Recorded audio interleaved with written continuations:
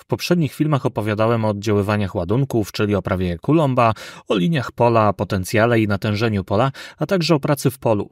Dzisiaj skupimy się na kondensatorach. Obecnie w podstawie programowej dużo o nich nie ma, więc i ja nie będę tego wam jakoś mocno wprowadzał. Mimo wszystko postaram się wyjaśnić o co chodzi w kondensatorach i jak one działają. Zaczynajmy.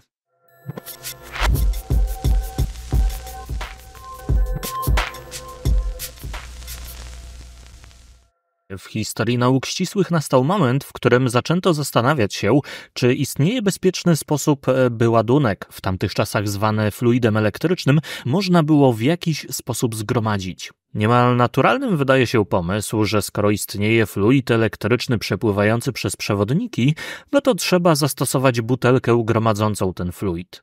Pierwsze pojemniki na ładunek zostały stworzone niezależnie przez kilku zapaleńców w różnych częściach Europy, w tym na obecnych terenach należących do Polski, w Kamieniu Pomorskim i Gdańsku.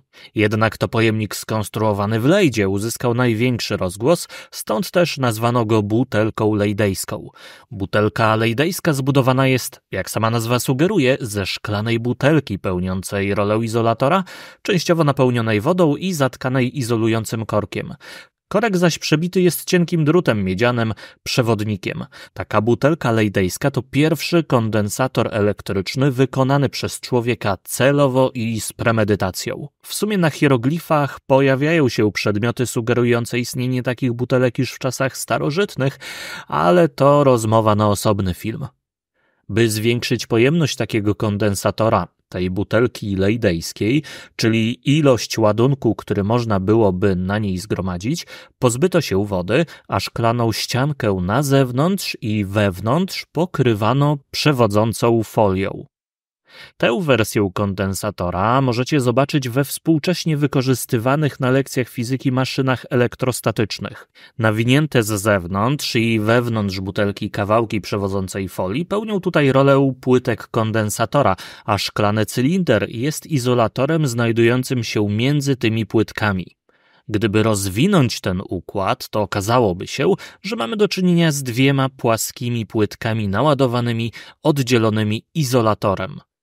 W trakcie ładowania kondensatora na jedną z płytek dopływa ładunek ujemny, a to powoduje powstanie oddziaływania kulombowskiego z ładunkami ujemnymi na drugiej z płytek i przemieszczenie części ładunków ujemnych poza drugą płytkę kondensatora. W ten sposób jedna z płytek staje się naładowana dodatnio, druga ujemnie i chcą się one ze sobą połączyć, co w sumie uniemożliwia izolator umieszczony między nimi.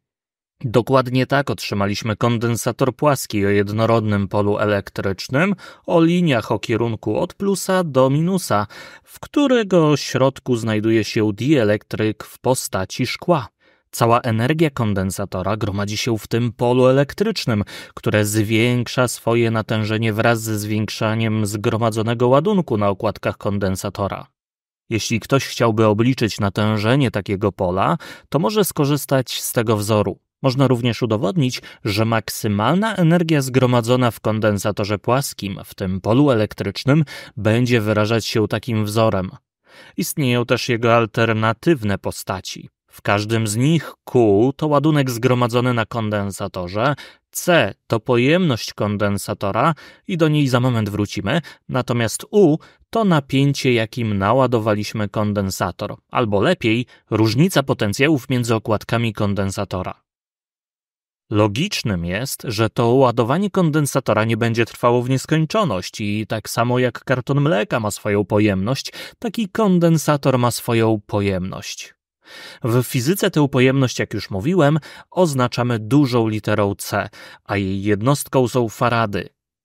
Pojemność kondensatora zależy od jego wymiarów geometrycznych, powierzchni okładek i odległości między nimi oraz od izolatora znajdującego się między tymi okładkami. Z tego wzoru wynika na przykład, że aby zwiększyć pojemność kondensatora, to można zwiększyć powierzchnię okładek albo zmniejszyć odległość między nimi. Można zastosować też specjalny rodzaj izolatora o dużej wartości współczynnika przenikalności elektrycznej. Natomiast w dobie obecnej miniaturyzacji nikt nie bawi się w tak duże okładki i stara się zminimalizować rozmiary kondensatora przy zachowaniu jego funkcjonalności no i pojemności. Jedną z możliwości jest skręcenie tego kondensatora wypełnionego dielektrykiem w cienką spiralę, a następnie zamknięcie jej dla bezpieczeństwa w specjalnej beczce wraz z oznaczeniem pojemności kondensatora i maksymalnego napięcia, przy którym kondensator może pracować, zanim dojdzie do jego uszkodzenia, czyli przebicia prądu przez zastosowany izolator. Co ciekawe, chyba jak dla kogo, możemy dowiedzieć się, jaki ładunek jesteśmy na takim kondensatorze w stanie zgromadzić. Wystarczy skorzystać z tego wzoru. Ale to również w sumie z podstawy wypadło, to możecie olać ten wzór, nie uczyć się go. Trochę szkoda. Taki trójwymiarowy kondensator można przedstawić oczywiście dużo prościej w formie dwóch kresek pionowych do czegoś przyłączonych. W takim naładowanym kondensatorze zgromadziła się pewna energia.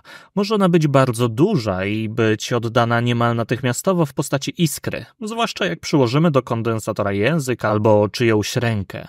Robiłem takie zabawy w szkole, ale nie polecam, bo potem zostawały uczniom czarne ślady na wypalonej w ten sposób skórze. Rodzice się wtedy mocno skarżyli i wyrzucili mnie wtedy ze szkoły. Na całe szczęście istnieje nieco łatwiejszy sposób na pokazanie, że kondensator wydziela energię rozładowując się przy tym.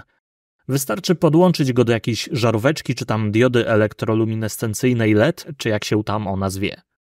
Na koniec zróbmy dwa zadania. W pierwszym z nich e, znamy napięcie przyłożone do okładek kondensatora pochodzące od 1,5V baterii oraz z jakiejś przyczyny znamy odległość między jego okładkami, która wynosi 10 mm. Chcemy dowiedzieć się, ile wynosi natężenie pola między okładkami tego kondensatora. W tym zadaniu wystarczy wypisać dane i znaleźć wzór na natężenie pola. Wstawiamy wszystkie dane pod wzór, no i mamy wynik. W drugim zadaniu mamy wykres przedstawiający, jak zwiększa się zgromadzony ładunek na kondensatorze w zależności od przyłożonego do niego napięcia. Chcemy ustalić, jaką energię zgromadziliśmy w tym kondensatorze i czy jest w stanie nas ona zabić przy jej natychmiastowym wydzieleniu. Napięcie na kondensatorze uzyskało przy tym wartość 150 V. Z wykresu odczytujemy, że gdy jest 150 V, to ładunek zgromadzony wynosi 300 mikrokulumbów. Wybieramy jeden ze wzorów na energię bez w sumie głębszego zastanowienia się, co on oznacza i aby literki się tutaj zgadzały, bo w sumie niebawem do tego sprowadzą się obliczenia na szkolnej fizyce i obliczamy to zadanko. Wyszła niezwykle mała liczba, a jej jednostką jest joule, bo przecież to jednostka energii właśnie. Czy jak przyłożymy taki kondensator do języka, to zginiemy?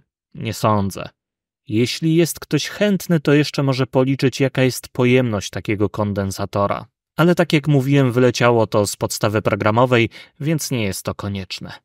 No i w tym filmie to wszystko. Co miałem wam do przekazania, to powiedziałem. Na koniec wrzucam jeszcze grafikę podsumowującą, która może się przyda, a może i się nie przyda. Cześć!